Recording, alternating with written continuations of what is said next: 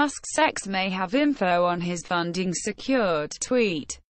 Investors investors suing Tesla CEO Elon Musk have argued that his ex-girlfriend, Canadian singer Grimes, may have relevant information about Musk's funding secured tweet on August 7, 2018. The investors cited media reports placing Musk in the company of Grimes and rapper Azealia Banks around the time of the tweet.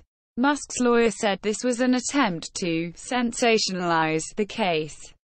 Humanoid robot, hit by Tesla car ahead of CES tech event A humanoid robot was allegedly hit by a Tesla car ahead of CES 2019 on Sunday.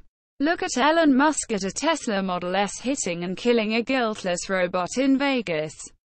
Your car was under a full self-driving mode, its owner Promobot tweeted.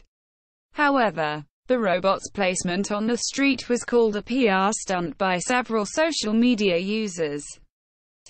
WhatsApp co-founder to sell 10 Porsches. Doesn't have time to drive WhatsApp co-founder Jan Koum is selling his 10 Porsche cars at a U.S. auction on March 8 this year.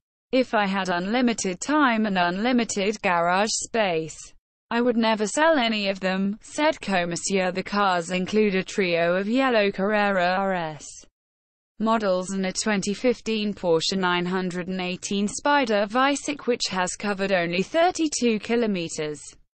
Tesla sued for faulty battery after two teens died in 186 kmph crash. Tesla has been sued over claims that a defective Model S battery caused the death of two teen passengers in the U.S. last year. The lawsuit also alleged a Tesla service center removed a speed limiter installed by the victims' parents. The car was moving at 186 kmph before it crashed into a wall, allegedly setting its battery on fire. Car sales in China, world's biggest market. Fall first time in 20 YR car sales in China fell 6% to 22.7 million units last year. The first annual decline in at least 20 years. The China Passenger Car Association said. The sales drop in the world's biggest car market comes amid slowing economic growth and trade tensions with the U.S. The association said that it expects the sales to rise 1.2% in 2019.